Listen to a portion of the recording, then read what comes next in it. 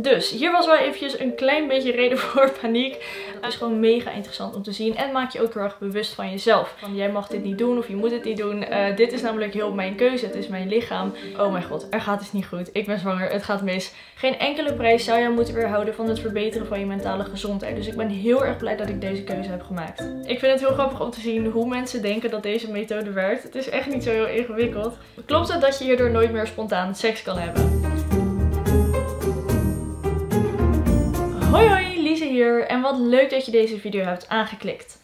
Als je mij al een tijdje volgt, dan weet je dat ik het heel veel heb over ongesteldheid en anticonceptie en alles wat daarbij komt kijken.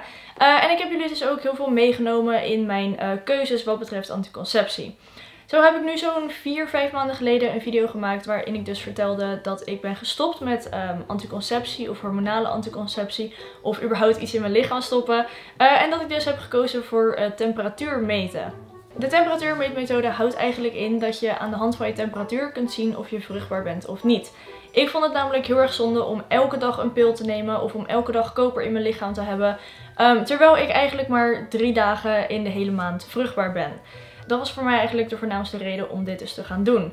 Ik gebruik het apparaatje nu zo'n half jaar. En ik wil allereerst even zeggen dat dit geen update video is waarin ik vertel dat ik zwanger ben. Nee, uh, ik vind het gewoon leuk om jullie om het half jaar of om het jaar eventjes een update te geven van hoe het op dit moment gaat um, met mij en met het apparaatje. Ik heb ook op Instagram gevraagd of jullie een aantal vragen hadden uh, over dit apparaatje. Dus die ga ik ook in deze video beantwoorden. Maar laat ik allereerst eventjes gewoon een beetje vertellen hoe het de afgelopen tijd is gegaan. Ik zal het apparaatje allereerst eventjes synchroniseren met mijn telefoon. Dan gaat alle informatie uh, naar de app. En dan kan ik dus heel duidelijk aflezen uh, waar ik op dit moment zit. En dan gaat hij nu dus synchroniseren. Again, deze video is trouwens niet gesponsord. Dit is gewoon het apparaatje wat ik heb gekozen. Uh, ik heb er verder geen samenwerking mee. Zoals je kunt zien is het vandaag donderdag 6 mei. En dit bolletje betekent dat hier mijn ovulatie is geweest. Of tenminste het apparaatje denkt dat mijn ovulatie hier is geweest. Even voor de mensen die het niet weten. Je ovulatie of je ijsprong duurt zo'n 48 uur. En dit is eigenlijk de periode waarin het eitje uh, loskomt en dus in je baarmoeder gaat wachten om daar bevrucht te worden. Um, in deze periode ben je dus vruchtbaar en de rest van de dagen eigenlijk niet. En dat zou best wel kunnen kloppen, aangezien mijn temperatuur dus uh, is gestegen. Wanneer je overleert, uh, stijgt je temperatuur namelijk. En wanneer je ongesteld moet worden, daalt je temperatuur.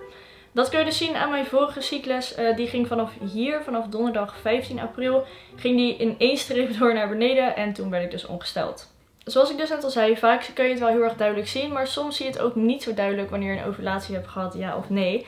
Um, zoals bijvoorbeeld hier. Uiteraard is het helemaal geen reden tot paniek. Alleen kan ik me wel herinneren dat ik in um, maart wel eventjes dacht van... Hé, hey, wat uh, gebeurt hier nou eigenlijk? Want zoals je ziet uh, heb ik daar heel veel rode dagen achter elkaar gehad. Um, ook bleef de temperatuur eigenlijk best wel op dezelfde uh, hoogte. Waarvan ik dacht, hé, hey, dit, dit klopt gewoon niet helemaal. Er gaat iets niet helemaal lekker. Nou moet ik zeggen dat het me in maart opviel dat ik eigenlijk heel veel suiker heb gegeten. Ik heb wel eens vaker gezegd, ik heb echt struggles met suiker eten. En um, suiker eten kan er dus voor zorgen dat je ovulatie uitblijft. En dat is ook precies wat hier is gebeurd. Um, mijn ovulatie bleef maar uit. Waardoor die hem natuurlijk elke keer op rood houdt. Want ik kan dan natuurlijk geen onbeschermde seks hebben. Mocht mijn ovulatie ineens uh, wel komen, dan kan ik natuurlijk nog zwanger raken. Je hebt nog vijf dagen om zwanger te raken. Aangezien sperma vijf dagen in je baarmoeder overleeft. Um, dus hier was wel eventjes een klein beetje reden voor paniek. Maar ik wist wel dat ik gewoon niet zwanger was. Ik wist wel dat het iets anders was. Wanneer je namelijk zwanger zou zijn, dan zou het betekenen dat je temperatuur uh, een aantal dagen lang heel erg hoog blijft. Dus dan blijft die heel erg stabiel en heel erg hoog. Dus mocht ik dat een keertje zien, dan weet ik wel dat ik zwanger ben. Maar laten we er eventjes niet van uitgaan. Verder heb ik hier in februari een hele mooie ijsprong gehad en een hele mooie daling uh, voor ik ongesteld werd. Dus dat is gewoon allemaal super duidelijk. Dus, hoe het de afgelopen tijd is gegaan. Ik moet zeggen dat uh, ik wel nog in een fase zit waarin ik het apparaatje echt moet leren vertrouwen. Um, ik heb best wel vaak nog dat ik denk, oh mijn god, er gaat iets niet goed. Ik ben zwanger, het gaat mis.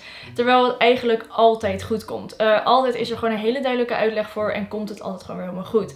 Aan de andere kant vind ik het dus ook super interessant om te leren wat er allemaal in mijn lichaam gebeurt. Wanneer ik bepaalde dingen eet, hoe dat invloed heeft op mijn cyclus, op mijn temperatuur. Uh, dat is gewoon mega interessant om te zien en maak je ook heel erg bewust van jezelf. Um, dat vind ik nog steeds echt een van de leukste dingen hieraan. Ik vind het ook mega interessant om er tegen anderen over te praten en om alles te laten zien, ook al boeit het ze niet. Maar ik moet wel zeggen dat ik het dus echt nog eventjes heel erg moet leren vertrouwen. Uiteraard meet ik ook niet wanneer ik uh, alcohol op heb, uh, omdat je temperatuur dan vaak hoger is. Dus dat geeft dan een soort van vertekend beeld. Dus soms zie je ook een uh, soort gaatjes in de lijntjes. Op zich is het niet heel erg, alleen moet je dit natuurlijk niet te vaak doen. Ik skip vaak 1 à 2 metingen per maand, afhankelijk van hoe brak ik wakker word in de ochtend. Met een paar wijntjes is het natuurlijk geen probleem, maar als je echt wel veel hebt gedronken, dan kan je beter niet meten. Verder ken ik mijn cyclus nu eigenlijk al helemaal uit mijn hoofd. Dus ik weet vaak al op welke datum ik ongesteld word, op welke datum ik overleer. Um, dus in dat opzicht geeft het wel een heel fijn beeld van uh, hoe je je leven in kan plannen. Wanneer ik namelijk ongesteld moet worden, dan zorg ik dat ik wat minder gepland heb. En wanneer ik in mijn ovulatietijd ben, dan ga ik juist super veel doen. Omdat ik dan eigenlijk heel vrolijk ben en ik overal heel erg veel zin in heb. Um, dus zo is het heel fijn om je leven een beetje te plannen. Goed, dan gaan we even naar de vraag, want ik denk dat ik zo het best kan beantwoorden hoe ik over bepaalde onderwerpen denk. De allereerste vraag is hoeveel kost deze en zijn duurdere apparaatjes meer betrouwbaar? Um, deze was 300 euro en ik denk niet dat je uh, wanneer je meer betaalt dat ze dan meer betrouwbaar zijn. Aangezien ze allemaal gewoon hetzelfde doen en dezelfde informatie doorgeven. Um, dus dat lijkt me niet. Kan het echt zwangerschappen voorkomen zoals de pil bijvoorbeeld doet? Um, nee, het is namelijk volledig anders dan uh, de pil. Uh, bij de pil wordt namelijk gebruik gemaakt van hormonen die eigenlijk alles helemaal plat leggen. En hier heb je gewoon je normale uh, hormonale natuurlijke cyclus. Natuurlijk kan het een zwangerschap voorkomen, dat is ook de hele reden dat ik het gebruik. Um, mits je het goed gebruikt. Zoals ik dus net al zei, wanneer je bijvoorbeeld heel veel alcohol drinkt, dan is het veel minder betrouwbaar. Maar wanneer je gewoon een rustig leven leidt, um, dan is het gewoon heel erg betrouwbaar. Bij mij in ieder geval. Ik gebruik het nu al een half jaar en het gaat hartstikke goed. Ik zie ook heel veel reacties van mensen die zeggen, oh my god, je moet het echt niet doen. En ik heb van mijn docent gehoord dat dit een hele onbetrouwbare methode is. Tegen die mensen zou ik zeggen, probeer je eerst eens een beetje in te lezen wat um, je allemaal met je lichaam doet wanneer je de pil neemt of wanneer je een spiraaltje neemt. Um, ik denk dat je er dan echt wel anders over gaat denken. Probeer je eerst gewoon eens eventjes in te lezen wat je hormonale cyclus precies voorstelt en hoe belangrijk het is voor je lichaam. Natuurlijk ben ik me bewust van het feit dat het misschien ietsje minder betrouwbaar lijkt dan een pil. Maar ik ga dit toch niet zomaar nemen. Ik heb er genoeg research over gedaan uh, om te weten dat ik dit gewoon volledig vertrouw. Daarbij um, vind ik niet dat mensen het recht hebben om te zeggen van jij mag dit niet doen of je moet het niet doen. Uh, dit is namelijk heel mijn keuze. Het is mijn lichaam. Um, en ik ben gewoon hartstikke blij dat ik deze keuze heb gemaakt. Ik zou daarom iedereen aanraden om eerst eens een beetje meer te lezen over je cyclus, over je baarmoeder, over je ongesteldheid, over anticonceptie. Um, voor je zomaar dingen gaat roepen. Er is namelijk heel veel interessante informatie over te vinden waarvan ik eigenlijk niet kan begrijpen dat we die op school nooit hebben geleerd. Hoe meet je het op? Als in doe je het in je mond, je oor of je vagina zelf? Nee, dit hoeft gelukkig allemaal niet. Uh, het is heel erg simpel. Elke ochtend zodra ik wakker word leg ik dit onder mijn tong. Dus zo. zo dus. En dat doe ik dan zo'n twee minuutjes. Um, ja, net zolang totdat mijn temperatuur heeft gemeten. De reden dat je het doet um, zodra je wakker bent is omdat dat je basale lichaamstemperatuur is. Dus het heeft geen zin om dit uh, bijvoorbeeld in de middag te meten. Om dan te kijken wat je temperatuur is. Je basale lichaamstemperatuur is eigenlijk je temperatuur wanneer je lichaam helemaal in ruststand is. Dus ik kan niet meten wanneer ik uh, wakker word en ik ga naar de wc en ik ga dan meten. Dan is mijn temperatuur al heel erg anders. Um, daarom is het gewoon heel erg belangrijk dat je het heel goed gebruikt en dat je er heel uh, consequent mee bent. Vind je het de prijs waard? Absoluut. Als ik kijk naar hoe ik mij eerst voelde met een hormoonspiraaltje of met een koperspiraaltje of met een pil, dan vind ik dit die 300 euro zeker waard. Geen enkele prijs zou jou moeten weerhouden van het verbeteren van je mentale gezondheid. Dus ik ben heel erg blij dat ik deze keuze heb gemaakt. Dit vind ik een leuke vraag. Klopt het dat je hierdoor nooit meer spontaan seks kan hebben? Um, ja en nee. Natuurlijk kun je gewoon nog spontaan seks hebben wanneer je een groen lampje hebt. Dan kun je gewoon seksen wat je wil. Onveilig seks wat je wil. Uh, wanneer je een rood lampje hebt, dan moet je altijd wel zorgen dat je een condoom bij je hebt. Dus um, heb je die niet, dan kun je natuurlijk niet spontaan seksen. Waar je ook bent. Dus ik zorg gewoon dat ik altijd een condoom bij me heb. Mochten mijn vriend en ik allebei ineens in de moed zijn. Het enige echt jammer en eigenlijk het grootste nadeel. Vind ik dus dat wanneer ik een rood lampje heb... Um, ik niet in de douche kan seksen. Omdat ik dat gewoon heel erg fijn vind.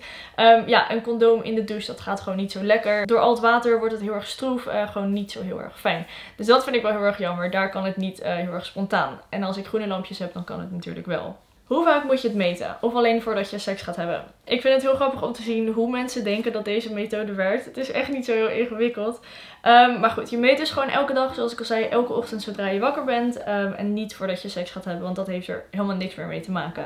Uh, het is puur en alleen om te meten in welke fase van je cyclus je zit. En om dus te kijken of je vruchtbaar bent uh, of niet. Dit is een hele, hele, hele goede vraag. Gebruik je alleen je temperatuur of ook dingen zoals afscheiding, hoogte, hardheid van je baarmoedermond? Zoals ik dus al zei, uh, ben ik me heel erg bewust van mijn eigen lichaam. En heel erg bewust van in welke fase ik op uh, dat moment zit. Maar in de app zelf kun je dus ook het een en ander aangeven. Cervical fluid, dat is dus je afscheiding. En als ik daar dus op klik, uh, zie je dat het dry is, dus wanneer het er eigenlijk bijna niet is. Sticky, dus wanneer het wit en een beetje als lijm is, dan is het de start of the fertile window. Wat dus betekent dat je aan het begin bent van je vruchtbare periode. Creamy is dus leading up to ovulation, dus dat is al wat dichter bij je ovulatie. En egg white, slippery clear, dus wanneer het een beetje doorzichtig is, uh, dat is around ovulation. Dus dat is een beetje de, voor, de na. Zo kan ik dus aangeven en verduidelijken aan het apparaatje uh, in welke periode ik precies zit. De reden dat hij deze opties dus geeft is omdat je afscheiding verandert wanneer je aan het overleren bent. Dus hieraan kan hij ook aflezen in welke periode ik zit. Dit zijn dus eigenlijk veel redenen waarom ik het apparaatje vertrouw. Uh, er zijn veel meer dingen waar je naar kunt kijken dan alleen je temperatuur. En ik vind dat heel erg interessant om te doen. Dus wanneer ik iets abnormaals zie of voel, uh, dan ga ik niet alleen uit van wat het apparaatje zegt, maar dan luister ik gewoon heel erg naar mijn eigen lichaam. Uh, en ik vind dat een heel mooi iets. Hoeveel dagen ongeveer per maand moet je een condoom gebruiken? Ik denk dat het zo een 1 à 2 weken is dat ik een condoom gebruik.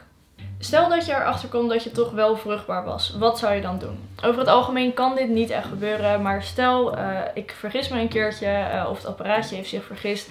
Uh, en ik heb het eerder door. Dan heb ik een morning after pill liggen. Wat er dus voor zorgt dat mijn ovulatie uitgesteld wordt. Um, ja, waardoor ik dus eigenlijk niet meer zwanger zou kunnen raken. Natuurlijk is het dan wel eventjes pech wanneer ik op precies die dag aan het overleren ben. Maar goed, daar gaan we gewoon allemaal niet van uit.